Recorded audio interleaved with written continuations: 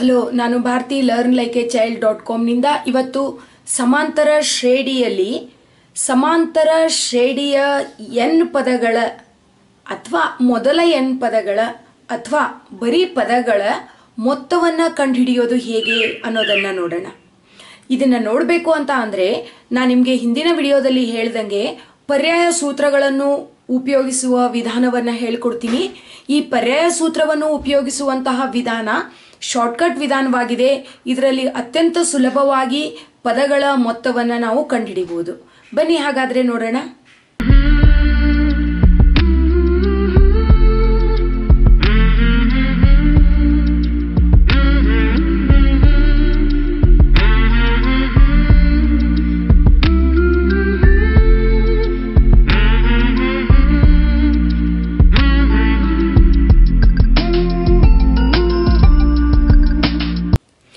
ಮೊದಲನೆಯ ಲೆಕ್ಕವನ್ನ ನೋಡೋಣ.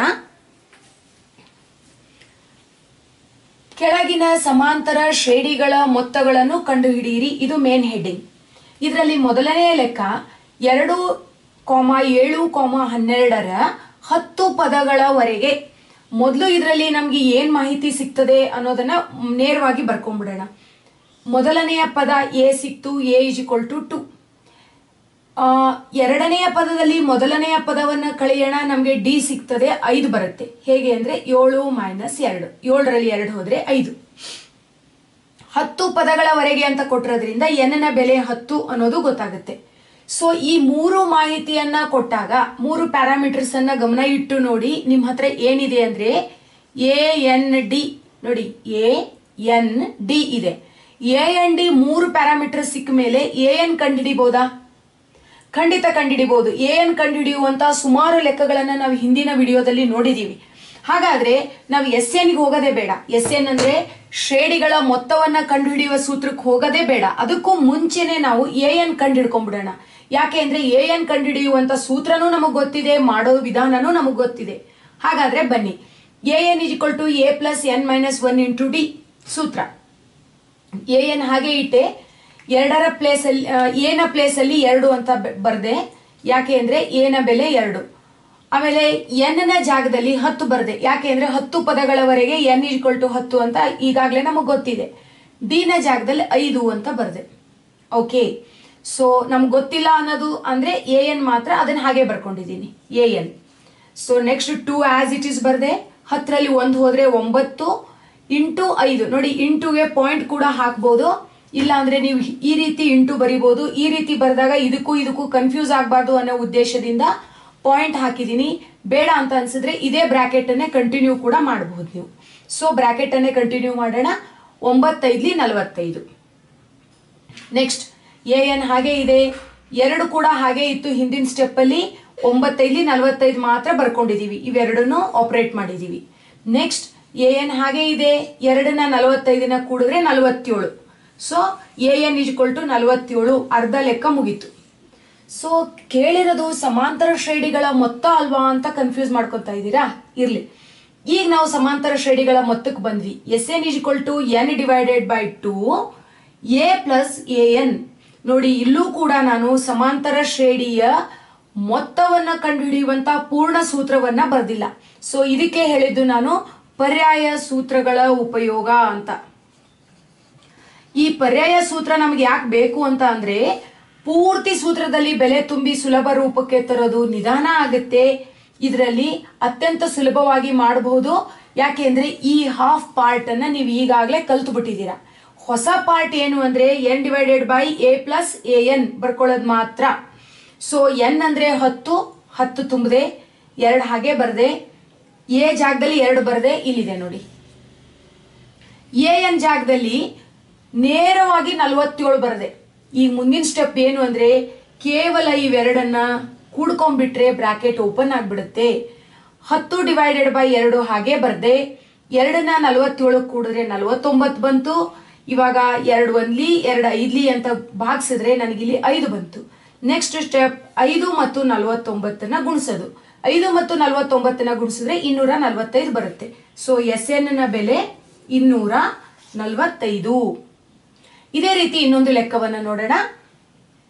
ಮೈನಸ್ ಮೂವತ್ತೇಳು, ಮೈನಸ್ ಮೂವತ್ತ್ಮೂರು ಮೈನಸ್ ಇಪ್ಪತ್ತೊಂಬತ್ತು. ರ, ಹನ್ನೆರಡು ಪದಗಳವರೆಗೆ ಮೊತ್ತವನ್ನ ಕಂಡುಹಿಡೀರಿ ಅಂತ.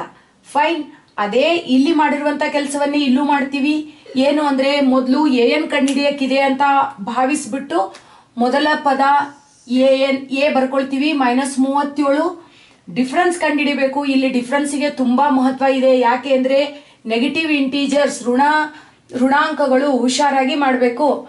ಮೈನಸ್ ಮೂವತ್ತ್ ಮೂರನ್ನ ಮೊದಲು ಬರ್ಕೋಬೇಕು. ಕೆಲವರು ಕನ್ಫ್ಯೂಸ್ ಆಗಿ ಮೂವತ್ತೇಳು ದೊಡ್ಡದು ಕಾಣಿಸ್ತಾ ಇದೆ. ಕನ್ಫ್ಯೂಸ್ ಆಗಿ ದೊಡ್ಡ ನಂಬರ್ ಅನ್ನ ಮೇಲ್ ಬರ್ಕೋಬೇಕು ಚಿಕ್ಕ ನಂಬರ್ ಅನ್ನ ಕೆಳಗ್ ಬರ್ಕೋಬೇಕು ಅನ್ನೋ ಕಾನ್ಸೆಪ್ಟ್ ಇರುತ್ತೆ ಪ್ರೈಮರಿಯಲ್ಲಿ ಸೊ ಆ ಕಾನ್ಸೆಪ್ಟ್ ಅನ್ನ ಮರ್ತು ಬರಿಬೇಡಿ.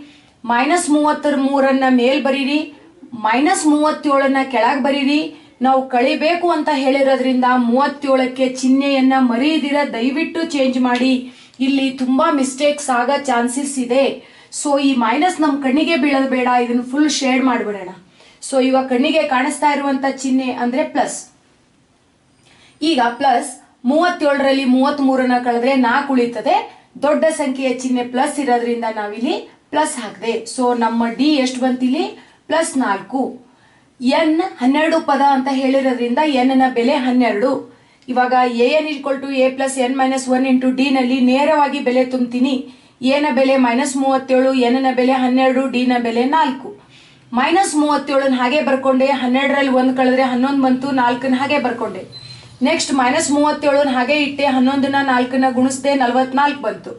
ಇಲ್ಲಿ ಸ್ವಲ್ಪ ಹುಷಾರಾಗಿ ಮಾಡಿ ಥಂಬ್ ರೂಲ್ ಅನ್ನ ಯೂಸ್ ಮಾಡಿ, ಒಂದು ಮೈನಸ್ ಚಿಹ್ನೆ ಇದೆ, ಒಂದು ಪ್ಲಸ್ ಚಿಹ್ನೆ ಇದೆ. ಚಿಹ್ನೆಗಳು ಬಂದಾಗ ಬಹಳ ಜೋಪಾನವಾಗಿ ಮಾಡಬೇಕು. ಥಂಬ್ ರೂಲನ್ನು ಯೂಸ್ ಮಾಡಿದ್ರೆ ಚಿ ಮೈನಸ್ ಚಿಹ್ನೆಗೆ ಥಂಬ್ ಡೌನ್ ಆಗುತ್ತೆ ಪ್ಲಸ್ ಚಿಹ್ನೆಗೆ ಥಂಬ್ ಅಪ್ ಆಗುತ್ತೆ. ವಿರುದ್ಧವಾಗಿ ಚಿಹ್ನೆಗಳು ಕಾಣಿಸ್ತಾ ಇರೋದ್ರಿಂದ ಕಳಿಬೇಕು ಅಂತ ಗೊತ್ತಾಗುತ್ತೆ. ಕಳಿಬೇಕು ಅಂದಾಗ ನಾವಿಲ್ಲಿ ನಲವತ್ನಾಲ್ಕರಲ್ಲಿ ಮೂವತ್ತೇಳನ್ನು ಕಳೆದ್ರೆ ನಮಗೆ ಏಳು ಬರುತ್ತೆ, ದೊಡ್ಡ ಸಂಖ್ಯೆಯ ಚಿಹ್ನೆ ಪ್ಲಸ್ ಇರೋದ್ರಿಂದ ಇದು ಪ್ಲಸ್ ಏಳು ಬರುತ್ತೆ. ಸಾಕು ಎ ಎನ್ ಅನ್ನ ಇಲ್ಲಿಗೆ ನಿಲ್ಲಿಸ್ಬಿಡೋಣ. ಎ ಎನ್ ಉತ್ತರ ನಮಗೆ ಬಂತು. Next S N ಬರ್ಕೋತೀನಿ. S N is equal to N divided by two into bracket A plus A N N ಅಂದರೆ ಹನ್ನೆರಡು ಎನ್ ಜಾಗಕ್ಕೆ ಹನ್ನೆರಡು ಬರ್ಕೊಂಡೆ ಟು ಹಾಗೆ ಬರ್ಕೊಂಡೆ. ಎ ಅಂದರೆ ಮೈನಸ್ ಮೂವತ್ತೇಳು ಎ ಎನ್ ಅಂದರೆ ಏಳು. ಇಲ್ಲಿಂದ ಆನ್ಸರನ್ನು ಇಲ್ಲಿಗೆ ಸಬ್ಸ್ಟಿಟ್ಯೂಟ್ ಮಾಡಿಕೊಂಡೆ. ನೆಕ್ಸ್ಟ್ ಇದು ಮೈನಸ್ ಮೂವತ್ತೇಳು ಪ್ಲಸ್ ಏಳು ಥಂಬ್ ರೂಲನ್ನ ಯೂಸ್ ಮಾಡಿದ್ರೆ ಕಳಿಬೇಕು ಅಂತ ಗೊತ್ತಾಗುತ್ತೆ. ಮೂವತ್ತೇಳರಲ್ಲಿ ಏಳು ಹೋದರೆ ಮೂವತ್ತು, ದೊಡ್ಡ ಸಂಖ್ಯೆ ಚಿಹ್ನೆ ಮೈನಸ್ ಇರೋದ್ರಿಂದ ಮೈನಸ್ ಮೂವತ್ತಾಗತ್ತೆ ಈಗ ಆರು ಮತ್ತು ಮೈನಸ್ ಮೂವತ್ತನ್ನು ನಾವು ಗುಣಿಸಿದ್ರೆ ನಮಗೆ ನೂರ ಎಂಬತ್ತು ಬರುತ್ತೆ. ಅದು ಕೂಡ ಮೈನಸ್ ಮೈನಸ್ ನೂರ ಎಂಬತ್ತು ನಮ್ಮ ಎನ್ ಪದಗಳ ಮೊತ್ತ, ಅಂದ್ರೆ ಹನ್ನೆರಡು ಪದಗಳ ಮೊತ್ತ ಮೈನಸ್ ನೂರ ಎಂಬತ್ತು ಇಲ್ಲಿ ಹತ್ತು ಪದಗಳ ಮೊತ್ತ ಇನ್ನೂರ ನಲವತ್ತೈದು ಬಂದಿತ್ತು. ಮುಂದಿನ ಲೆಕ್ಕಗಳನ್ನು ನೋಡೋಣ. Point six one point seven two point five ರ ನೂರು ಪದಗಳವರೆಗೆ ಮೊತ್ತವನ್ನು ಕಂಡುಹಿಡಿಯಿರಿ. ಓಕೆ ನಾವು ನೂರು ಪದಗಳ ಮೊತ್ತವನ್ನು ಕಂಡುಹಿಡಿಬೇಕು. ಮತ್ತು ಅದೇ ಪ್ರೊಸೀಜರ್ ಅನ್ನ ಫಾಲೋ ಮಾಡ್ತಾ ಇದ್ದೀನಿ. ಎದ ಬೆಲೆ ಪಾಯಿಂಟ್ ಸಿಕ್ಸ್ ಮೊದಲನೆಯ ಬೆಲೆ. ಡಿ ಅಂದ್ರೆ ಒನ್ ಪಾಯಿಂಟ್ ಸೆವೆನ್ ಅಲ್ಲಿ ಪಾಯಿಂಟ್ ಸಿಕ್ಸ್ ಅನ್ನ ಕಳಿಬೇಕು. ನೋಡಿ, ಹಿಂದಿನ ವಿಡಿಯೋದಲ್ಲಿ ನಾವು ಈಗಾಗಲೇ ಚರ್ಚೆ ಮಾಡಿದೀವಿ. ದಶಮಾಂಶದಲ್ಲಿರುವ ಸಂಖ್ಯೆಗಳನ್ನ ಹೇಗೆ ಕಳಿಬೇಕು ಅಂತ. ಒನ್ ಪಾಯಿಂಟ್ ಸೆವೆನ್ ಅಲ್ಲಿ ಪಾಯಿಂಟ್ ಸಿಕ್ಸ್ ಅನ್ನ ಕಳಿಬೇಕು ಅಂತ ಹೇಳಿರೋದ್ರಿಂದ ಚಿಹ್ನೆ ಚೇಂಜ್ ಆಗುತ್ತೆ. ಈ ಚಿಹ್ನೆಯನ್ನ ಮರ್ತು ಬಿಡಿ. ಮೈನಸ್ ಅನ್ನ ಲೆಕ್ಕಕ್ಕಿಟ್ಕೊಳ್ಳಿ. ಒಂದು ಪಾಯಿಂಟ್ ಏಳರಲ್ಲಿ ಆರನ್ನ ಕಳೆದ್ರೆ ಒಂದು ಪಾಯಿಂಟ್ ಒಂದು ಉಳಿತದೆ. ದೊಡ್ಡ ಸಂಖ್ಯೆ ಚಿಹ್ನೆ ಪ್ಲಸ್ ಇರೋದ್ರಿಂದ ಪ್ಲಸ್ ಒಂದು ಪಾಯಿಂಟ್ ಒಂದು ಬರ್ತದೆ. ಎನ್ ಅಂದ್ರೆ ನೂರು ಪದಗಳವರೆಗೆ ಕೇಳಿರೋದ್ರಿಂದ ಎನ್ನ ಬೆಲೆ ನೂರು. Okay A N is equal to A plus N minus one into D A N ಹಾಗೆ ಬರ್ಕೊಂಡೆ. ಎನ ಜಾಗಕ್ಕೆ ಪಾಯಿಂಟ್ ಸಿಕ್ಸ್ ಎನ್ನ ಜಾಗಕ್ಕೆ ನೂರು ಡಿ ನ ಜಾಗಕ್ಕೆ ಒನ್ ಪಾಯಿಂಟ್ ಒನ್ ಕೇವಲ ಬೆಲೆ ತುಂಬಿದೆ. ನೆಕ್ಸ್ಟ್ ಪಾಯಿಂಟ್ ಸಿಕ್ಸ್ ಅನ್ನು ಹಾಗೆ ಬರ್ಕೊಂಡೆ. ನೂರಲ್ಲಿ ಒಂದು ಕಳೆದೆ ತೊಂಬತ್ತೊಂಬತ್ತು ಬಂತು. ಒನ್ ಪಾಯಿಂಟ್ ಒನ್ ಅನ್ನ as it is next point six ಅನ್ನ ಆಸ್ ಇಟ್ ಈಸ್ ಬರ್ಕೊಂಡೆ ತೊಂಬತ್ತೊಂಬತ್ತು ಮತ್ತು ಒಂದು ಪಾಯಿಂಟ್ ಒಂದನ್ನ ಗುಣಿಸಿದಾಗ ನೂರ ಎಂಟು ಪಾಯಿಂಟ್ ಒಂಬತ್ತು ಬರುತ್ತೆ, ಅದನ್ನ ಚೇಂಜ್ ಮಾಡಿಕೊಂಡೆ.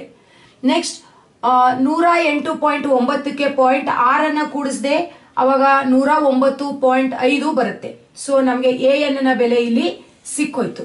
Next S N is equal to N by two into bracket A plus A N ಪರ್ಯಾಯ ಸೂತ್ರವನ್ನ ಬರ್ಕೊಂಡಿದ್ದೀವಿ ಎನ್ನ ಬೆಲೆ ನೂರು divided by two next A ನ ಬೆಲೆ ಪಾಯಿಂಟ್ ಸಿಕ್ಸ್ ಎ ಎನ್ ಅಂದ್ರೆ one naught nine point five ಇವೆರಡನ್ನು ಕೂಡಿದ್ರೆ ಹಂಡ್ರೆಡ್ ಅಂಡ್ ಟೆನ್ ಪಾಯಿಂಟ್ ಒಂದು ಬರುತ್ತೆ. ಪಾಯಿಂಟ್ ಅಲ್ಲಿ ಕೂಡೋದನ್ನ ನಿಮಗೆ ಕನ್ಫ್ಯೂಸ್ ಇದ್ರೆ ಹಿಂದಿನ ವಿಡಿಯೋ ನೋಡ್ಕೊಂಡ್ ಬನ್ನಿ. ಲಿಂಕು ನಿಮಗೆ ಇಲ್ಲಿ ಸಿಗುತ್ತೆ. ಸೊ ಆ ಲಿಂಕ್ ಆ ವಿಡಿಯೋವನ್ನು ನೋಡಿ ಬಂದು ಪುನಃ ಈ ಲೆಕ್ಕವನ್ನು ಬೇಕಾದ್ರೆ ನೀವು ಕಂಟಿನ್ಯೂ ಮಾಡಬಹುದು ಸೊ ಈಗ ಹಂಡ್ರೆಡ್ ಅಂಡ್ ಟೆನ್ ಪಾಯಿಂಟ್ ಒಂದನ್ನ ನಾವು ಐವತ್ತರಿಂದ ಗುಣಿಸ್ಬೇಕು. ಐವತ್ತು ಹೇಗೆ ಬಂತು ಅಂದರೆ ಮೇಲ್ ನೂರಿದೆ ಕೆಳಗೆ ಎರಡಿದೆ ನೂರರ ಅರ್ಧ ಐವತ್ತು ಇಲ್ಲ ಅಂದ್ರೆ ಎರಡು ಒಂದ್ಲಿ ಎರಡು ಐವತ್ಲಿ ಸೊ ಐವತ್ತನ್ನ ಹಂಡ್ರೆಡ್ ಅಂಡ್ ಟೆನ್ ಪಾಯಿಂಟ್ ಒಂದನ್ನ ನೀವು ಗುಣಿಸಿದ್ರಿ ಅಂದ್ರೆ ನಿಮ್ಗೆ ಐದ್ ಸಾವಿರದ ಐನೂರ ಐದು ಉತ್ತರ ಬರುತ್ತೆ. ಸೊ ನೆಕ್ಸ್ಟ್ ಮುಂದಿನ ಲೆಕ್ಕವನ್ನ ನೋಡೋಣ. One divided by fifteen one divided by twelve one divided by ಟೆನ್ಗಳ ರ ಹನ್ನೊಂದು ಪದಗಳವರೆಗೆ ಮೊತ್ತವನ್ನು ಕಂಡುಹಿಡಿಯಿರಿ ಅಂತ. ಓಕೆ ಎ ಅಂದ್ರೆ one divided by fifteen D ಅಂದ್ರೆ ತುಂಬಾ ಹುಷಾರಾಗಿ ಮಾಡಿ. ಈ ಲೆಕ್ಕ ಮಾತ್ರ ತುಂಬಾ ಟ್ರಿಕಿ ಇದೆ. ಜೊತೆಗೆ ಸ್ಟಾರ್ ಹಾಕೊಳ್ಳಿ, ಇಂಥ ಲೆಕ್ಕಗಳು ಬರುವಂತ ಸಂದರ್ಭಗಳು ಕೂಡ ಇದೆ. ಇಲ್ಲಿ ಎರಡನೆಯ ಪದದಲ್ಲಿ ಮೊದಲನೆಯ ಪದವನ್ನ ನಾವು ಕಳಿಬೇಕು. ಒನ್ ಡಿವೈಡೆಡ್ ಬೈ ಟ್ವೆಲ್ವ್ ಅಲ್ಲಿ ಒನ್ ಡಿವೈಡೆಡ್ ಬೈ ಫಿಫ್ಟೀನ್ ಕಳಿಬೇಕು. ಇದು ಮಾಮೂಲ್ ಕಳೆಯೋ ಲೆಕ್ಕ ಅಲ್ಲ. ಲಸ ತೆಗಿಬೇಕು. ಲಸ ತೆಗೆಯೋದಿಕ್ಕೆ ನಾನು ವಿಶೇಷವಾದಂತ ವಿಧಾನವನ್ನ ಹಿಂದಿನ ವಿಡಿಯೋದಲ್ಲಿ ಹೇಳ್ಕೊಟ್ಟಿದ್ದೀನಿ. ಇಲ್ಲೂ ಕೂಡ ನಿಮ್ಗೆ ರಿಪೀಟ್ ಮಾಡ್ತಾ ಇದ್ದೀನಿ. ಹನ್ನೆರಡರ ಅವಿಭಾಜ್ಯ ಅಪವರ್ತನಗಳನ್ನ ಬರ್ಕೊಳ್ಳೋಣ ಹನ್ನೆರಡನ್ನ ಅವಿಭಾಜ್ಯ ಸಂಖ್ಯೆಗಳಿಂದ ಭಾಗಿಸ್ತಾ ಹೋಗೋಣ. ಭಾಗಿಸಿದಾಗ ಹನ್ನೆರಡನ್ನ ಮೊದಲು ನಾನು ಎರಡರಿಂದ ಭಾಗಿಸಿದೆ, ಆರ್ ಬಂತು, ಆರನ್ನ ಎರಡರಿಂದ ಭಾಗಿಸಿದೆ, ಮೂರ್ ಬಂತು, ಮೂರನ್ನ ಮೂರರಿಂದ ಭಾಗಿಸಿದೆ, ಒಂದು ಬಂತು. ಕೊನೆಗೆ ಭಾಗಲಬ್ಧ ಒಂದು, ಶೇಷ ಸೊನ್ನೆ ಬಂದ ಮೇಲೆ ಲೆಕ್ಕ ಕ್ಲೋಸ್ ಆಯ್ತು. ಸೊ, ನಮ್ಮ ಅವಿಭಾಜ್ಯ ಅಪವರ್ತನಗಳು ಎರಡು ಎರಡು, ಮೂರು. ಒಂದು ಪಟ್ಟಿ ಮಾಡಿದ್ದೀನಿ ಎರಡು ಎರಡು, ಮೂರು ಅಂತ ಎಂಟ್ರಿ ಹಾಕಿದ್ದೀನಿ ನೆಕ್ಸ್ಟ್ ಹದಿನೈದರ ಅವಿಭಾಜ್ಯ ಅಪವರ್ತನ ಅಪವರ್ತನಗಳನ್ನು ಬರ್ಕೊಂಡೆ. ಮೂರೈದ್ಲಿ ಹದಿನೈದು, ಐದು ಉಳಿತು, ಐದು ಬಂತು, ಆ ಐದನ್ನ ಪುನಃ ಐದರಿಂದ ಭಾಗಿಸ್ದೆ ಶೇಷ ಸೊನ್ನೆ ಬಂತು ಭಾಗಲಬ್ಧ ಒಂದು ಬಂತು. ಸೊ ಇಲ್ಲಿಗೆ ಲೆಕ್ಕ ಕ್ಲೋಸ್ ಆಯ್ತು. ನಮ್ಗೆ ಸಿಕ್ಕಂತ ಅವಿಭಾಜ್ಯ ಅಪವರ್ತನಗಳು ಮೂರು ಮತ್ತು ಐದು. ಎಡ ಕಿವಿಯನ್ನ ಹುಡುಕ್ತಾ ಇದ್ದೀನಿ, ಎಡ ಕಿವಿಯನ್ನ ರೆಫರ್ ಮಾಡ್ತಾ ಇದ್ದೀನಿ. ಸೊ ನಮ್ಗೆ ಹದಿನೈದರ ಅಪವರ್ತನಗಳು ಅಂದ್ರೆ ಮೂರು ಮತ್ತು ಐದು. ನೋಡಿ, ಮೂರರ ಕೆಳಗ್ ಮೂರು ಬರ್ದೆ ಐದಕ್ಕೆ ಹೊಸ ಬಾಕ್ಸ್ ಕ್ರಿಯೇಟ್ ಮಾಡಿದೆ, ಎರಡರ ಕೆಳಗ್ ಬರೀಲಿಲ್ಲ. ಹಾಗೆ ಬರೀ ಕೂಡ್ದು. ಸೊ ಎರಡರ ರಿಪ್ರೆಸೆಂಟೇಟಿವ್ ಎರಡು, ಎರಡರ ರಿಪ್ರೆಸೆಂಟೇಟಿವ್ ಎರಡು, ಮೂರರ ರಿಪ್ರೆಸೆಂಟೇಟಿವ್ ಮೂರು, ಐದರ ರಿಪ್ರೆಸೆಂಟೇಟಿವ್ ಐದು. ಇವು ನಾಲ್ಕನ್ನು ನಾವು ಗುಣಿಸಿದ್ವಿ ಅಂದರೆ ನಮಗೆ ಅರವತ್ತು ಬರುತ್ತೆ. ಸೊ ನಮ್ಮ ಲಸ ಅ ಅರವತ್ತು. ಈಗ ಈ ಅರವತ್ತಕ್ಕೆ ಹನ್ನೆರಡು ಮತ್ತು ಹದಿನೈದನ್ನ ಅಡ್ಜಸ್ಟ್ ಮಾಡಬೇಕು. ಅಡ್ಜಸ್ಟ್ ಮಾಡಬೇಕು ಅಂದರೆ ಅರವತ್ತನ್ನ ಒಂದ್ಸಲ ಹನ್ನೆರಡರಿಂದ ಬಾಗಿಸಿ ಒಂದ್ಸಲ ಹದಿನೈದರಿಂದ ಬಾಗಿಸಿ ಹನ್ನೆರಡರಿಂದ ಭಾಗಿಸಿದ್ರೆ ಐದು ಬರುತ್ತೆ, ಹದಿನೈದರಿಂದ ಭಾಗಿಸಿದ್ರೆ ನಾಲ್ಕು ಬರುತ್ತೆ. ಸೊ ಅದಕ್ಕೇನೆ ಐದನ್ನ ಅಂಶ ಮತ್ತು ಛೇದದಲ್ಲಿ ಬರೆದಿದ್ದೀನಿ. ಇಲ್ಲೂ ಕೂಡ ನಾಲ್ಕನ್ನ ಅಂಶ ಮತ್ತು ಛೇದದಲ್ಲಿ ಬರೆದಿದ್ದೀನಿ. ಈಗ, ಮೇಲಿನ ಮೇಲ್ ಗುಣಿಸಿ, ಕೆಳಗಿನ ಕೆಳಗೆ ಗುಣಿಸಿ. ಒಂದ್ ಐದ್ಲಿ ಐದು, ಹನ್ನೆರಡು ಐದ್ಲಿ ಅರವತ್ತು. ಒಂದ್ ನಾಲ್ಕಲಿ ನಾಲ್ಕು, ಹದಿನೈದು ನಾಲ್ಕಲಿ ಅರವತ್ತು. ಸೊ ಐದರಾಗ ನಾಲ್ಕು ಹೋದ್ರೆ ಒಂದು, ಎರಡು ಕಡೆ ಅರವತ್ತು ಅರವತ್ತು ಇರೋದ್ರಿಂದ ನೇರವಾಗಿ ಅರವತ್ತು ಅಂತ ಬರ್ದಿದ್ದೀನಿ. ಐದರಲ್ಲಿ ನಾಲ್ಕು ಹೋದ್ರೆ ಒಂದು. So one divided by sixty ಅನ್ನೋದು ನಮ್ಮ ಡಿ ಇವಾಗ. ಓಹೋ, ಡಿ ಈಗ ನಮಗೆ ಡಿ ಸಿಕ್ತು. ಈ ಡಿ ಅನ್ನ ಉಪಯೋಗಿಸ್ಕೊಂಡು ನಾವು ನೆಕ್ಸ್ಟ್ ಎ ಎನ್ ಕಂಡುಹಿಡಿಯೋಣ. ಹನ್ನೊಂದು ಪದಗಳು, ಎನ್ನ ಬೆಲೆ ಹನ್ನೊಂದಿದೆ. Fine A N is equal to A plus N minus one into D. A ಎನ್ನ ಬೆಲೆ one divided by fifteen, N ಅಂದ್ರೆ ಹನ್ನೊಂದು, ಡಿ ಅಂದ್ರೆ ಒನ್ ಡಿವೈಡೆಡ್ ಬೈ ಸಿಕ್ಸ್ಟಿ. ಈಗಾಗಲೇ ನಾವು ಕಂಡುಹಿಡಿದಿದ್ದೀವಿ. Next one divided by fifteen as it is ಇಟ್ಟೆ ಹನ್ನೊಂದರಲ್ಲಿ ಒಂದು ಹೋದರೆ ಹತ್ತು ಉಳಿತು. ಇದು ಮಾತ್ರ change ಮಿಕ್ಕಿದ್ದೆಲ್ಲ same one divided by sixty ಕೂಡ ಹಾಗೆ ಇದೆ. ಮುಂದಿನ ಹಂತದಲ್ಲಿ ಹತ್ತು ಒಂದ್ಲಿ ಹತ್ತು, ಹತ್ತರ ಕೆಳಗೆ ಏನೂ ಇಲ್ಲ ಅಂದ್ರೆ ಭಾಗಲಬ್ಧ ಸಂಖ್ಯೆಯಾಗಿ ಬರ್ಕೊಳ್ಳಿ. ಒಂದು ಇಂಟು ಅರವತ್ತು ಅರವತ್ತು ಬಂತು. ಸೊ ಕೆಳಗೆ ನಂಬರ್ ಇಲ್ಲ ಅಂದ್ರೆ ಕೆಲವು ಮಕ್ಕಳಿಗೆ ಕನ್ಫ್ಯೂಸ್ ಆಗುತ್ತೆ. ಆದ್ದರಿಂದ ಒಂದು ಬರ್ಕೊಳ್ಳೋದ್ರಿಂದ ಏನು ತೊಂದರೆ ಆಗೋದಿಲ್ಲ. ಆರಾಮಾಗಿ ನೀವು ಲೆಕ್ಕ ಮಾಡ್ತೀರಾ. ಅದಕ್ಕೋಸ್ಕರ ಬರೆಯೋದನ್ನ ಅಭ್ಯಾಸ ಮಾಡ್ಕೊಳ್ಳಿ. ಹತ್ತು ಒಂದ್ಲಿ ಹತ್ತು, ಒಂದ್ ಅರವತ್ಲಿ ಅರವತ್ತು. ಸೊ ಮೇಲ್ ಹತ್ತು, ಕೆಳಗ ಅರವತ್ತು. ಈಗ ಹದಿನೈದು ಮತ್ತು ಅರವತ್ತಕ್ಕೂ ಪುನಃ ಲಸ ತೆಗಿಬೇಕು. ಇದೇ ಮೆಥಡ್ ಅನ್ನ ನೀವು ಮತ್ತೆ ಫಾಲೋ ಮಾಡಬೇಕು. ಪೂರ್ತಿ ಲೆಕ್ಕ ಮಾಡಿದ್ರೆ ನಿಮಗೆ ಟೈಮ್ ಆಗುತ್ತೆ ಅನ್ನೋ ಉದ್ದೇಶದಿಂದ ನಾನು ನೇರವಾಗಿ ಬರ್ದಿದ್ದೀನಿ. ಹದಿನಾಲ್ಕು ಡಿವೈಡೆಡ್ ಬೈ ಅರವತ್ತು ಬರುತ್ತೆ. ಸೊ ಈ ಎಲ್ಲ ಲೆಕ್ಕ ಮಾಡಿ ನೀವು ನೋಡಿ ಹದಿನಾಲ್ಕು ಡಿವೈಡೆಡ್ ಬೈ ಅರವತ್ತು ಬರುತ್ತೆ. ಇದು ನಮ್ಮ ಎ ಎನ್ನ ಬೆಲೆ. ಎ ಎನ್ ಸಿಕ್ಕ ಮೇಲೆ S N is equal to N divided by two A plus A N A ಅಂದ್ರೆ one divided by fifteen A N ಅಂದ್ರೆ ನಾವು ಈಗಾಗಲೇ ಕಂಡು ಹಿಡಿದಿದ್ದೀವಿ ಹದಿನಾಲ್ಕು ಡಿವೈಡೆಡ್ ಬೈ ಅರವತ್ತು. ಸೊ ಸುಲಭ ರೂಪಕ್ಕೆ ತಂದ್ರೆ ಪುನಃ ಹದಿನೈದು ಮತ್ತೆ ಅರವತ್ತಕ್ಕೆ ನಾವು ಲಸ ತೆಗಿಬೇಕು. ನಮ್ಗೆ ಅರವತ್ತು ಲಸ ಬರುತ್ತೆ. ಅರವತ್ತು ಲಸ ಬಂದ್ಮೇಲೆ ಅಂಶಗಳನ್ನು ಕೂಡಬೇಕು, ಹದಿನೆಂಟು ಬರುತ್ತೆ. ಹದಿನೆಂಟು ಹೆಂಗ್ ಚೇಂಜ್ ಆಯ್ತು? ಒಂದು ಮತ್ತು ಹದಿನಾಲ್ಕು ಅಂತ ತಿಳ್ಕೊಬೇಡಿ. ಲಸ ತೆಗೆದು ಪೂರ್ತಿ ಪ್ರೊಸೀಜರ್ ಮಾಡಿದ್ಮೇಲೆ ನಿಮಗೆ ಹದಿನೆಂಟು ಡಿವೈಡೆಡ್ ಬೈ ಅರವತ್ತು ಬರುತ್ತೆ. ಈಗ ಸುಲಭ ರೂಪಕ್ಕೆ ತರುವಂತಹ ಸಮಯ ಇಲ್ಲಿ ಹನ್ನೊಂದು ಭಾಗಿಸು ಎರಡಿದೆ ಹದಿನೆಂಟು ಭಾಗಿಸು ಅರವತ್ತಿದೆ ಇಲ್ಲಿ ಮೇಲಿನ ಮೇಲ್ ಗುಣಿಸಿ, ಕೆಳಗಿನ ಕೆಳಗ್ ಗುಣಿಸಿ, ಭಾಗಿಸ್ತೀನಿ ಅನ್ನೋದಾದ್ರೂ ಹಾಗೆ ಮಾಡಿ ಇಲ್ಲ ಅಂದ್ರೆ ಇಲ್ಲೇ ಕ್ಯಾನ್ಸಲ್ ಮಾಡ್ತೀನಿ ಅನ್ನೋದಾದ್ರೆ ಮಾಡಿ, ಇದು ಅತ್ಯಂತ ಸುಲಭ ವಿಧಾನ, ಇಲ್ಲೇ ಕ್ಯಾನ್ಸಲ್ ಮಾಡಬೇಕು. ನೋಡಿ ಎರಡೊಂದ್ಲಿ ಎರಡು ಒಂಬತ್ಲಿ, ಹದಿನೆಂಟು. ಸೊ ಮೂರ್ ಮೂರ್ಲಿ ಒಂಬತ್ತು, ಮೂರ್ ಇಪ್ಪತ್ಲಿ ಅರವತ್ತು. ಇನ್ನು ಕ್ಯಾನ್ಸಲ್ ಮಾಡೋದಕ್ಕೆ ಆಗೋದಿಲ್ಲ, ಯಾಕೆಂದ್ರೆ ಮೇಲ್ ಬೆಸ ಸಂಖ್ಯೆಗಳು, ಕೆಳಗಡೆ ಸಮ ಸಂಖ್ಯೆ ಇದೆ.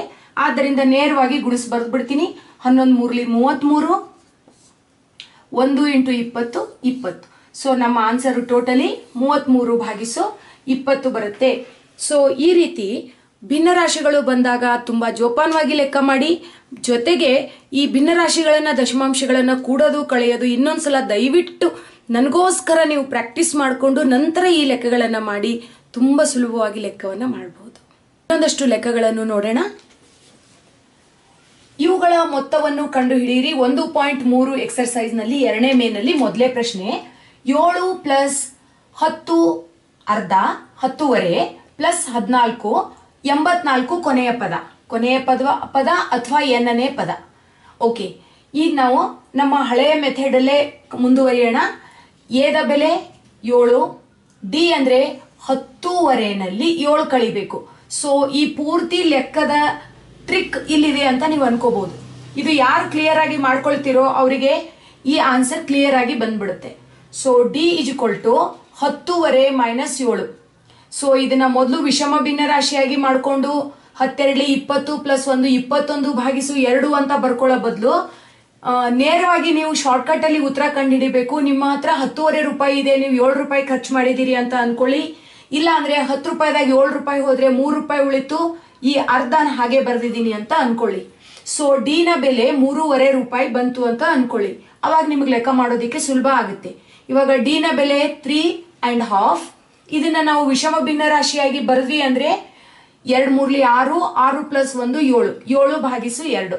ಸೊ ಡಿ ನ ಬೆಲೆ ಗೊತ್ತಾಯ್ತು. ಎನ್ ಅಂದ್ರೆ ಸಾರಿ ಇದು ಎ ಎನ್ ಎ ಎನ್ ಅಂದ್ರೆ ಕೊನೆಯ ಪದ ಅಥವಾ ಎನ್ನನೇ ಪದ. ಎ ಎನ್ ಇಜ್ಕೊಳ್ ಟು ಎಂಬತ್ನಾಲ್ಕು. ಫೈನ್ ಈ ಬೆಲೆಗಳನ್ನು ನಾವು ನಮ್ಮ ಹಳೆಯ ಸೂತ್ರ a n equal to a plus n minus one into d ನಲ್ಲೇ ತುಂಬೋಣ. ಎ ಎನ್ ಅಂದ್ರೆ ಎಂಬತ್ನಾಲ್ಕು, ಎ ಅಂದ್ರೆ ಏಳು, ಎನ್ನ ಬೆಲೆ ನಮಗೆ ಗೊತ್ತಿಲ್ಲ, ಹಾಗೆ ಬರ್ದಿದ್ದೀನಿ. ಡಿ ಅಂದ್ರೆ ಇಲ್ಲೋಡಿ ಡಿ ಅಂದ್ರೆ ಏಳು ಭಾಗಿಸು ಎರಡಿದೆ ಅದನ್ನ ಏಳು ಭಾಗಿಸು ಎರಡು ಅಂತ ಬರ್ಕೊಂಡಿದ್ದೀನಿ. ನೆಕ್ಸ್ಟ್ ಈಗ ಸುಲಭ ರೂಪಕ್ಕೆ ತರುವಲ್ಲಿ ಟ್ರಿಕ್ ಇರೋದು. ಯಾಕೆ ಅಂದ್ರೆ, ಈ ಎನ್ ಮೈನಸ್ ಒಂದನ್ನ ಏಳು ಭಾಗಿಸು ಎರಡರಿಂದ ಗುಣಿಸಿದ್ರಿ ಅಂದ್ರೆ, ತುಂಬಾ ಉದ್ದಕ್ಕೆ ಹೋಗ್ಬಿಡುತ್ತೆ ಲೆಕ್ಕ. ಏಳು ಭಾಗಿಸು ಎರಡು ಎನ್ ಮೈನಸ್ ಏಳು ಭಾಗಿಸು ಎರಡು. ಒಂದು ಭಿನ್ನರಾಶಿಯನ್ನ ಹ್ಯಾಂಡಲ್ ಮಾಡ್ಬೇಕಾದ್ರೇನೆ ನಮ್ಗೆ ಎಷ್ಟೋ ಕನ್ಫ್ಯೂಷನ್ಗಳಿರ್ತವೆ. ಅಂಥದ್ರಲ್ಲಿ ಗುಣಿಸ್ಬಿಟ್ವಿ ಅಂದ್ರೆ ಇನ್ನೂ ದೊಡ್ಡದಾಗುತ್ತೆ. ಸೊ ದಯವಿಟ್ಟು ಗುಣಿಸೋದ್ ತಪ್ಪನ್ನ ಮಾಡಬೇಡಿ. ಈ ಏಳನ್ನ ಎಡಭಾಗಕ್ಕೆ ತಗೊಂಬನ್ನಿ ಮೊದಲು. ಯಾಕೆ ಅಂದ್ರೆ ಇದು ಒಂದು ಭಾಗಲಬ್ಧ ಸಂಖ್ಯೆ ಅಂಶ. ಇಲ್ಲಿ ನಮ್ಗೆ ಏಳಿದೆ, ಛೇದ ಇಲ್ಲ. ಅದೊಂದು ನಮ್ಗೆ ಖುಷಿ. ಸೊ ಎಂಬತ್ನಾಲ್ಕರಲ್ಲಿ ಏಳನ್ನ ಕಳಿತೀವಿ. ಯಾಕೆಂದ್ರೆ ಏಳು ಈ ಕಡೆ ಬಂದ್ರೆ ಮೈನಸ್ ಆಗುತ್ತೆ. ಎಂಬತ್ನಾಲ್ಕರಲ್ಲಿ ಏಳು ಹೋದ್ರೆ ಎಪ್ಪತ್ತೇಳು ಉಳಿತು. ಸೊ ಎಡಭಾಗ ಸ್ವಲ್ಪ ಕ್ಲಿಯರ್ ಆಯ್ತು. ಬಲಭಾಗದಲ್ಲಿ ಇನ್ನೂ ಏಳು ಭಾಗಿಸು ಎರಡನ್ನ ಟಚ್ ಮಾಡಬೇಡಿ, ಹಾಗೆ ಇಡಿ. ಈ ಹಂತದಲ್ಲಿ ಎನ್ ಮೈನಸ್ ಒಂದು ಮತ್ತೆ ಏಳು ಭಾಗಿಸು ಎರಡನ್ನ ಮತ್ತೂ ನಾವು ಗುಣಿಸಲ್ಲ, ಅದ್ರ ಬದಲು ಏಳು ಭಾಗಿಸು ಎರಡ, ಎರಡನ್ನ ಎಡಭಾಗಕ್ಕೆ ಶಿಫ್ಟ್ ಮಾಡ್ತೀವಿ. ಎಡಭಾಗಕ್ಕೆ ಶಿಫ್ಟ್ ಆಯ್ತು ಅಂದ್ರೆ ಏಳು ಭಾಗಿಸು ಎರಡು ಇರೋದು, ಎರಡು ಭಾಗಿಸು ಏಳು ಆಗುತ್ತೆ. ನಿಮ್ಗೆ ನೆನಪಿರ್ಬೇಕು, ಹಿಂದಿನ ಲೆಕ್ಕದಲ್ಲೆಲ್ಲ ಬರೀ ಏಳಿದ್ರೆ ಏಳನ್ನ ನಾವು ಛೇದದಲ್ಲಿ ಬರಿತಿದ್ವಿ. ಯಾಕೆ ಅಂದ್ರೆ ಏಳರ ವೃತ್ಕ್ರಮ ಒಂದು ಭಾಗಿಸು ಏಳು ಆಗಿತ್ತು. ಆದ್ದರಿಂದ ಅದು ಅರ್ಥ ಆಗ್ಲಿಲ್ಲ ಅಂದ್ರೆ ಹೋಗ್ಲಿ ಬಿಡಿ. ಏಳು ಭಾಗಿಸು ಎರಡನ್ನ ಎರಡು ಭಾಗಿಸು ಏಳು ಅಂತ ಬರ್ಕೊಳ್ಳಿ. ಬರ್ಕೊಂಡ್ಮೇಲೆ ಕ್ಯಾನ್ಸಲ್ ಆಗೋದನ್ನ ಕ್ಯಾನ್ಸಲ್ ಮಾಡ್ತೀವಿ. ಏಳು ಒಂದ್ಲಿ ಏಳು ಏಳು ಹನ್ನೊಂದ್ಲಿ ಎಪ್ಪತ್ತೇಳು. ಈಗ ನಮ್ಗೆ ಹನ್ನೊಂದು ಇಂಟು ಎರಡು ಮಾಡಿದ್ರೆ ಇಪ್ಪತ್ತೆರಡು ಬರುತ್ತೆ. ಎಡಭಾಗದಲ್ಲಿ ಇಪ್ಪತ್ತೆರಡು ಇದೆ, ಬಲಭಾಗದಲ್ಲಿ ಎನ್ ಮೈನಸ್ ಒನ್ ಇದೆ. ಸೊ ಈಗ ನಾನು ಮೈನಸ್ ಒನ್ ಅನ್ನ ಎಡಭಾಗಕ್ಕೆ ತಗೊಂಡ್ಬರ್ತೀನಿ ಇಪ್ಪತ್ತೆರಡರಲ್ಲಿ ಒಂದನ್ನ ಕೂಡಿದ್ರೆ ಇಪ್ಪತ್ತ್ ಆಗುತ್ತೆ. ಯಾಕೆ ಅಂದ್ರೆ ಮೈನಸ್ ಒಂದು ಎಡಭಾಗದಿಂದ ಬಲಭಾಗಕ್ಕೆ ಬಂದ್ರೆ ಪ್ಲಸ್ ಒಂದಾಗುತ್ತೆ ಸೊ ಇಪ್ಪತ್ತೆರಡರಲ್ಲಿ ಒಂದನ್ನ ಕೂಡಿದ್ರೆ ಇಪ್ಪತ್ತ್ ಮೂರು ನೇರವಾಗಿ ಎನ್ ಸಿಕ್ತು. ಇಲ್ಲಿ ಗುಣಿಸುವಂತ ಕೆಲಸವನ್ನ ನಾವು ಮಾಡಿದ್ವಿ ಅಂದ್ರೆ ಇನ್ನೂ ನಾಲ್ಕೈದು ಸ್ಟೆಪ್ ಇದಕ್ಕೆ ಆಡ್ ಆಗ್ತಿದ್ವು. ಅದಕ್ಕೋಸ್ಕರ. Next s n equal to n divided by a plus a n ಈಗ ನಮಗೆ ನ ಬೆಲೆ ಸಿಕ್ಕಿದೆ ಇಪ್ಪತ್ಮೂರು. ನೇರವಾಗಿ ಇಪ್ಪತ್ಮೂರನ್ನ ನಾನಿಲ್ಲಿ ತುಂಬ್ತೀನಿ. ನೋಡಿ, ಇಲ್ಲಿ. ಇಪ್ಪತ್ಮೂರು ಡಿವೈಡೆಡ್ ಬೈ ಎರಡು. ಎನ ಬೆಲೆ ಆಲ್ರೆಡಿ ಗೊತ್ತಿದೆ ಇಲ್ಲಿ ಏಳು. ಎ ಎನ್ನ ಬೆಲೆ ಎ ಎನ್ನ ಬೆಲೆ ಇಲ್ಲಿ ಎಂಬತ್ನಾಲ್ಕು. ನಮ್ಗೆ ಅದು ಕೂಡ ಗೊತ್ತಿದೆ. ಸೊ ಎ ಎನ್ನ ಬೆಲೆ ಎಂಬತ್ನಾಲ್ಕು. ಮುಂದಿನ ಹಂತದಲ್ಲಿ ಇಪ್ಪತ್ಮೂರು ಭಾಗಿಸು ಎರಡನ್ನ ನಾನು ಡಿಸ್ಟರ್ಬ್ ಮಾಡಲ್ಲ. ಅದ್ರ ಬದಲು ಎಂಬತ್ನಾಲ್ಕರಲ್ಲಿ ಏಳನ್ನ ಕೂಡಿಸ್ತೀನಿ. ತೊಂಬತ್ತೊಂದು ಬರುತ್ತೆ. ಓಕೆ ಈಗಲೂ ಕೂಡ ನಾನು ಎರಡನ್ನ ಟಚ್ ಮಾಡಲ್ಲ. ಹಾಗೆ ಇಟ್ಕೋತೀನಿ. ಅದ್ರ ಬದಲು ಇಪ್ಪತ್ಮೂರು ಮತ್ತೆ ತೊಂಬತ್ತೊಂದನ್ನ ಗುಣಿಸ್ತೀನಿ. ಅವಾಗ ನನಗೆ ಸಾವಿರದ ನಲವತ್ತಾರು ಬರುತ್ತೆ ಈ ಅರ್ಧನ ಆಸ್ ಇಟ್ ಈಸ್ ಬರೀತೀನಿ. ಇದು ಅತ್ಯಂತ ಸುಲಭ ವಿಧಾನ ಅಂತಾನೆ ಹೇಳ್ಬೋದು. ಯಾಕೆಂದ್ರೆ ಯಾವುದೇ ಕಾರಣಕ್ಕೂ ನೀವು ಎರಡನ್ನ ಬರ್ಕೊಂಡು ಇಪ್ಪತ್ತ್ ಮೂರನ್ನ ಭಾಗಿಸಿ ಎಲ್ಲ ಮಾಡಿದ್ರಿ ಅಂದ್ರೆ ಆನ್ಸರ್ ಇದೇ ಬರುತ್ತೆ. ಬಟ್ ಮೂರಿಂದ ನಾಲ್ಕು ಸ್ಟೆಪ್ ನಿಮ್ಮ ಉತ್ತರ ಮುಂದಕ್ಕೆ ಹೋಗುತ್ತೆ. So this is the best method ನನ್ನ ಪರ್ಸನಲ್ ರೆಕಮೆಂಡೇಶನ್ ಏನು ಅಂದ್ರೆ ಈ ಹಂತವನ್ನ ನೆನ್ಪಿಟ್ಕೊಳ್ಳಿ. ಹೇ ಯಾವ್ದಾದ ಮೇಲೆ ಯಾವ ಹಂತವನ್ನ ಮಾಡಬೇಕು ಅನ್ನೋದನ್ನ ಚೆನ್ನಾಗಿ ಜ್ಞಾಪಕ ಇಟ್ಕೊಳ್ಳಿ. ನೆಕ್ಸ್ಟ್ ಇನ್ನೊಂದು ಲೆಕ್ಕವನ್ನ ನೋಡೋಣ. ಮೂವತ್ನಾಲ್ಕು ಪ್ಲಸ್ ಮೂವತ್ತೆರಡು ಪ್ಲಸ್ ಮೂವತ್ತು ಪ್ಲಸ್ ಹತ್ತು. ನಮ್ಮ ಎ ಎನ್ ಚಿಕ್ಕದಿದೆ ಎ ದೊಡ್ಡದಿದೆ, ಹುಷಾರಾಗಿ ನೆನ್ಪಿಟ್ಕೊಳ್ಳಿ. ಮಕ್ಕಳು ಕನ್ಫ್ಯೂಸ್ ಮಾಡ್ಕೋತಾರೆ. ಎ ಅಂದ್ರೆ ಮೂವತ್ನಾಲ್ಕು ಎ ಎನ್ ಅಂದ್ರೆ ಹತ್ತು ಎನ್ ಗೊತ್ತಿಲ್ಲ ಡಿ ಅಂದ್ರೆ ಮೈನಸ್ ಟು ಯಾಕೆ ಮೈನಸ್ ಟು ಬಂತು ಅಂದ್ರೆ ಮೂವತ್ತೆರಡರಲ್ಲಿ ಮೂವತ್ನಾಲ್ಕನ ಕಳೀತಾ ಇದ್ದೀರಾ? ಮೂವತ್ನಾಲ್ಕರಲ್ಲಿ ಮೂವತ್ತೆರಡನ್ನ ಅಲ್ಲ. ಸೊ ನೋಡಿ, ಇಲ್ಲಿ ಮೂವತ್ತೆರಡು ಮೇಲೆ, ಮೂವತ್ನಾಲ್ಕು ಕೆಳಗೆ ಮೈನಸ್ ಚಿಹ್ನೆಯನ್ನ ಚೇಂಜ್ ಮಾಡ್ತೀವಿ, ಕಳಿಬೇಕು ಅಂದಾಗ ಸೊ ಮೂವತ್ನಾಲ್ಕರಲ್ಲಿ ಮೂವತ್ತೆರಡು ಹೋದ್ರೆ ಎರಡು ಉಳಿತು, ದೊಡ್ಡ ಸಂಖ್ಯೆಯ ಚಿಹ್ನೆ ಮೈನಸ್ ಇರೋದ್ರಿಂದ ನಮಗೆ ಉತ್ತರ ಮೈನಸ್ ಎರಡು ಅಂತ ಬಂತು. ಓಕೆ ಇವಾಗ ಮತ್ತೆ ಅದೇ ಸೂತ್ರ n equal to a plus n minus one into d ಬೆಲೆ ತುಂಬ್ತೀನಿ ಎ ಎನ್ ಅಂದ್ರೆ ಹತ್ತು ಎ ಅಂದ್ರೆ ಮೂವತ್ನಾಲ್ಕು ಎನ್ ಗೊತ್ತಿಲ್ಲ ಡಿ ನ ಬೆಲೆ ಮೈನಸ್ ಎರಡು. ನೆಕ್ಸ್ಟ್ ಮೂವತ್ನಾಲ್ಕನ ಎಡಭಾಗಕ್ಕೆ ತಗೊಂಬನ್ನಿ, ಇಲ್ಲೇ ಹುಷಾರಾಗಿ ಮಾಡಬೇಕು ನಾವು. ಯಾಕೆ ಅಂದ್ರೆ ಗುಣಿಸೋದಾಗ್ಲಿ ಇನ್ನೊಂದಾಗ್ಲಿ ಮಾಡಬಾರ್ದು. ಹತ್ತರಲ್ಲಿ ಮೂವತ್ನಾಲ್ಕನ ಕಳೆದ್ರೆ ನಮಗೆ ಮೈನಸ್ ಇಪ್ಪತ್ನಾಲ್ಕು ಉಳಿತದೆ. ಬಲಭಾಗದಲ್ಲಿ n minus one into minus two ಅನ್ನ ಹಾಗೆ ಇಟ್ಟಿದ್ದೀನಿ, ಗುಣಿಸ್ಲಿಲ್ಲ.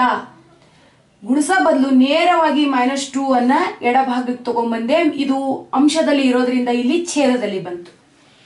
ನೆಕ್ಸ್ಟ್ ಎರಡು ಒಂದ್ಲಿ, ಎರಡು ಹನ್ನೆರಡ್ಲಿ.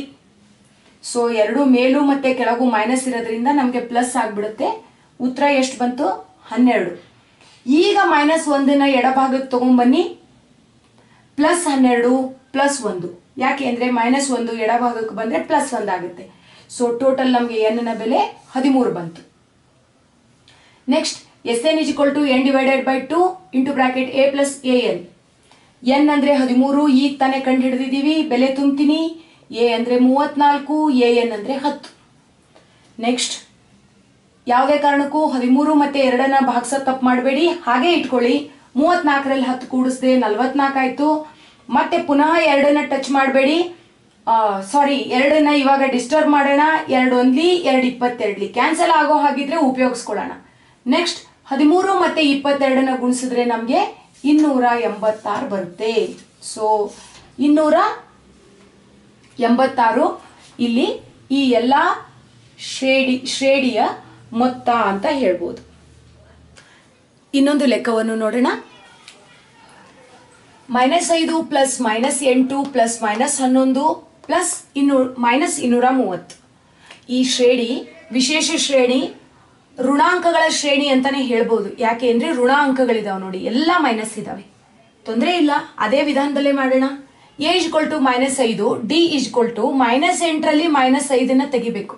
ಚಿಹ್ನೆಯನ್ನು ಜೋಪಾನವಾಗಿ ನೋಡ್ಕೊಳ್ಳಿ ಮೈನಸ್ ಎಂಟು ಮೈನಸ್ ಐದು.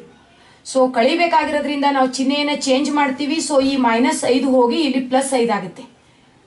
ಥಂಬ್ ರೂಲ್ ಪ್ರಕಾರ ಮೈನಸ್ ಪ್ಲಸ್ ಇದ್ರೆ ಮೈನಸ್ ಬರುತ್ತೆ. ಅಂದ್ರೆ ಕಳಿಬೇಕು, ಎಂಟರಲ್ಲಿ ಐದು ಹೋದ್ರೆ ಮೂರು ಉಳಿತದೆ. ದೊಡ್ಡ ಸಂಖ್ಯೆಯ ಚಿಹ್ನೆ ಮೈನಸ್ ಇರೋದ್ರಿಂದ ಮೈನಸ್ ಮೂರು ಬರುತ್ತೆ. ಮತ್ತೆ a n equal to a plus n minus one into d a n ಅಂದ್ರೆ ಮೈನಸ್ ಇನ್ನೂರ ಮೂವತ್ತು ಎ ಅಂದ್ರೆ ಮೈನಸ್ ಐದು. ಎನ್ ಮೈನಸ್ ಒನ್ ಹಾಗೆ ಇದೆ. ಡಿ ಅಂದ್ರೆ ಮೈನಸ್ ಮೂರು. ನೆಕ್ಸ್ಟ್ ಮೈನಸ್ ಇನ್ನೂರ ಮೂವತ್ತನ್ನ ಹಾಗೆ ಬರ್ಕೊಂಡೆ. ಈ ಮೈನಸ್ ಐದನ್ನ ಬಲಭಾಗಕ್ಕೆ ಶಿಫ್ಟ್ ಮಾಡಿದೆ. ಸೊ ಮೈನಸ್ ಐದು ಬಲಭಾಗಕ್ಕೆ ಬಂದ್ರೆ ಪ್ಲಸ್ ಐದು ಆಗುತ್ತೆ. ಎರಡನ್ನೂ ಕೂಡ್ತೀನಿ. ಯಾಕೆ ಅಂದ್ರೆ ಒಂದು ಮೈನಸ್ ಇದೆ, ಒಂದು ಪ್ಲಸ್ ಇದೆ ಕಳಿಬೇಕು ಅಂತ ಥಮ್ ರೂಲ್ ಪ್ರಕಾರ. ಇನ್ನೂರ ಮೂವತ್ತರಲ್ಲಿ ಐದನ್ನ ಕಳೆದ್ರೆ ಇನ್ನೂರ ಇಪ್ಪತ್ತೈದು ದೊಡ್ಡ ಸಂಖ್ಯೆಯ ಚಿಹ್ನೆ ಮೈನಸ್ ಇರೋದ್ರಿಂದ ಮೈನಸ್ ಇನ್ನೂರ ಇಪ್ಪತ್ತೈದು ಈ ಹಂತ ಮುಗೀತು. ಮುಂದಿನ ಹಂತದಲ್ಲಿ ಮೈನಸ್ ಮೂರನ್ನ ಎಡಭಾಗದಿಂದ ಬಲಭಾಗಕ್ಕೆ ತಗೊಂಡ್ಬರ್ತೀನಿ ಇಲ್ಲಿ ತಂದಿದ್ದೀನಿ ನೋಡಿ. ಸೊ ಅದು ಡಿವೈಡ್ ಆಗುತ್ತೆ. ಯಾಕೆ ಅಂದ್ರೆ ಇಲ್ಲಿ ಅಂಶದಲ್ಲಿದೆ, ಇಲ್ಲಿ ಛೇದಕ್ಕೆ ಬರುತ್ತೆ. ಫೈನ್ ಇನ್ನೂರ ಇಪ್ಪತ್ತೈದನ್ನ ಮೂರಿಂದ ಭಾಗಿಸಿದ್ವಿ ಅಂದ್ರೆ ನಮಗೆ ಎಪ್ಪತ್ತೈದು ಬರುತ್ತೆ. ಎಪ್ಪತ್ತೈದು ಈಜ್ಕೊಲ್ ಟು ಎನ್ ಮೈನಸ್ ಒಂದು. ಸೊ ಒಂದನ್ನ ನಾವು ಎಡಭಾಗಕ್ಕೆ ತಗೊಂಬಂದ್ವಿ ಅಂದ್ರೆ ಮೈನಸ್ ಒಂದಿದೆ ಪ್ಲಸ್ ಒಂದಾಗುತ್ತೆ ಎಪ್ಪತ್ತೈದರಲ್ಲಿ ಒಂದು ಕೂಡಿದ್ರೆ ಎಪ್ಪತ್ತಾರು. ಅಂದ್ರೆ ಎನ್ನ ಬೆಲೆ ಎಪ್ಪತ್ತಾರು. Next s n equal to n divided by two a plus a n ನಮ್ಮ ನಾರ್ಮಲ್ ಸೂತ್ರ. ಎನ್ನ ಬೆಲೆ ಈಗಾಗಲೇ ಕಂಡು ಹಿಡಿದಿದ್ದೀವಿ ಎಪ್ಪತ್ತಾರು. ಸೊ ಎಪ್ಪತ್ತಾರು ಡಿವೈಡೆಡ್ ಬೈ ಟು ಎನ ಬೆಲೆ ಮೈನಸ್ ಐದು. ಇಲ್ಲಿಂದ ತಗೊಂಡಿದ್ದೀನಿ. ನೆಕ್ಸ್ಟ್ ಎ ಎನ್ನ ಬೆಲೆ ಮೈನಸ್ ಇನ್ನೂರ ಮೂವತ್ತು, ಇಲ್ಲಿಂದ ಬರ್ಕೊಂಡಿದ್ದೀನಿ. ನೆಕ್ಸ್ಟ್ ಎಪ್ಪತ್ತಾರು ಡಿವೈಡೆಡ್ ಬೈ ಟು ಹಾಗೆ ಇಟ್ಟೆ ಮೈನಸ್ ಐದು ಮೈನಸ್ ಇನ್ನೂರ ಮೂವತ್ತು. ಅಂದರೆ ಎರಡೂ ಋಣ ಸಂಖ್ಯೆಗಳಿರೋದ್ರಿಂದ ಥಮ್ ರೂಲ್ ಪ್ರಕಾರ ಕೂಡಬೇಕು. ಇನ್ನೂರ ಮೂವತ್ತರಲ್ಲಿ ಐದು ಕೂಡಿದ್ರೆ ಇನ್ನೂರ ಮೂವತ್ತೈದು ಆಯಿತು. ಸೊ ದೊಡ್ಡ ಸಂಖ್ಯೆ ಚಿಹ್ನೆ ಮೈನಸ್ ಇರೋದ್ರಿಂದ ಇಲ್ಲಿ ಮೈನಸ್ ಬರುತ್ತೆ. ನೆಕ್ಸ್ಟ್ ಎಪ್ಪತ್ತಾರನ್ನ ಇನ್ನೂರ ಮೂವತ್ತೈದರ ಜೊತೆ ಗುಣಿಸೋದು ಅಷ್ಟೊಂದು ಬುದ್ಧಿವಂತಿಕೆ ಅಲ್ಲ. ಅದ್ರ ಬದಲು ಎಪ್ಪತ್ತಾರನ್ನ ಎರಡರಿಂದ ಭಾಗಿಸಿದ್ರೆ ಮೂವತ್ತೆಂಟು ಬರುತ್ತೆ. ಮೂವತ್ತೆಂಟನ್ನ ಮೈನಸ್ ಇನ್ನೂರ ಮೂವತ್ತೈದರಿಂದ ಗುಣಿಸೋದು ಸುಲಭ ವಿಧಾನ. ಆದ್ದರಿಂದ ಮೂವತ್ತೆಂಟನ್ನ ನಾನು ಮೈನಸ್ ಇನ್ನೂರ ಮೂವತ್ತೈದರಿಂದ ಗುಣಿಸಿದೆ, ಆಗ ನನಗೆ ಮೈನಸ್ ಎಂಟು ಸಾವಿರದ ಒಂಬೈನೂರ ಮೂವತ್ತು ಬಂತು. ಇದೇ ನಮ್ಮ ಈ ಈ ಶ್ರೇಣಿಯ ಸಂಖ್ಯೆಗಳ ಮೊತ್ತ. ಸ್ನೇಹಿತರೆ ಈ ವಿಡಿಯೋ ನಿಮಗೆ ಇಷ್ಟ ಆಗಿದ್ರೆ ಲೈಕ್ ಕೊಡಿ ಫ್ರೆಂಡ್ ಜೊತೆ ಶೇರ್ ಮಾಡಿ. ಜೊತೆಗೆ ನನ್ನ ವಿಡಿಯೋಗಳ ಅಪ್ಡೇಟ್ ಅನ್ನ ತಕ್ಷಣ ಪಡ್ಕೊಳ್ಳೋದಕ್ಕೆ ನನ್ನ ಚಾನೆಲ್ ಅನ್ನ ಮರೀದಿರೆ ಸಬ್ಸ್ಕ್ರೈಬ್ ಮಾಡಿ. ಸೊ ನಿಮಗೆ ಇದರಲ್ಲಿ ಇನ್ನೇನಾದ್ರು ಡೌಟ್ ಇದ್ರೆ ದಯವಿಟ್ಟು ಕಮೆಂಟ್ ಬಾಕ್ಸ್ ಅಲ್ಲಿ ಬರೀರಿ. ಇದರ ಮುಂದಿನ ಎಪಿಸೋಡ್ನಲ್ಲಿ ಹತ್ತು ಲೆಕ್ಕಗಳ ಒಂದು ದೊಡ್ಡ ಪಟ್ಟಿನೇ ಇದೆ. ಆ ಹತ್ತು ಲೆಕ್ಕಗಳು ಒಂದೊಂದು ರೀತಿಯ ಲೆಕ್ಕಗಳಿಗೆ ಸ್ಯಾಂಪಲ್ಗಳಾಗಿವೆ ಜೊತೆಗೆ ಅವುಗಳನ್ನು ಬಿಡಿಸೋದಕ್ಕೆ ಪ್ರತಿಯೊಂದಕ್ಕೂ ನನ್ನ ಹತ್ರ ಕ್ಲೂ ಇದೆ. ಮತ್ತೆ ಟ್ರಿಕ್ ಇದೆ. ಸೊ ಅವುಗಳನ್ನು ಉಪಯೋಗಿಸಿ ಮುಂದಿನ ಎಪಿಸೋಡಲ್ಲಿ ಮತ್ತೆ ನಾನು ನಿಮ್ಮನ್ನು ಕಾಣ್ತೀನಿ. ಅಲ್ಲಿವರೆಗೂ ಬಾಯ್